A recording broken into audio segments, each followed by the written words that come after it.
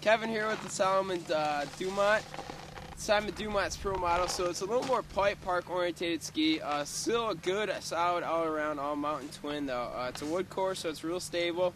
Because it, it is a you know pipe ski, it does have a little softer tip, so you can push the ski into a turn a little bit easier than say like the foil or some of their other skis. Um, but still a solid all around performer. Uh, you know it's going to be playful in the bumps, good you know lively ski.